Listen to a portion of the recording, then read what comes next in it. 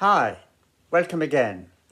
Today I'll talk about prudence in our dealings with others as uh, written in the book of Sirach. Quote, Do not contend with the mighty, lest you fall into their power. And do not quarrel with the rich, for gold has unsettled them.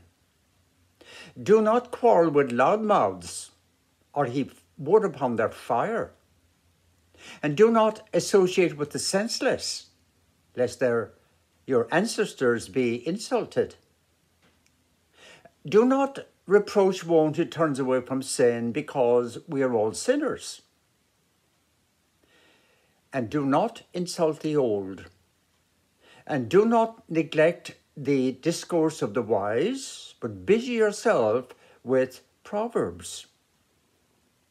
Do not neglect the traditions of the elders, which they have heard from their ancestors.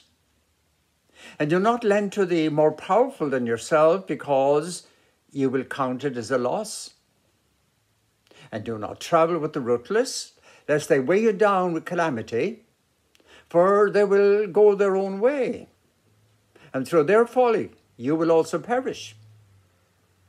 Do not defy the quick tempered, or ride with them through the desert, for bloodshed is nothing to them, and there will be nobody to help you, and they will destroy you. Do not take counsel from simpletons, for they cannot keep a confidence. Before a stranger, do nothing that should be kept secret for you do not know what it will produce later on.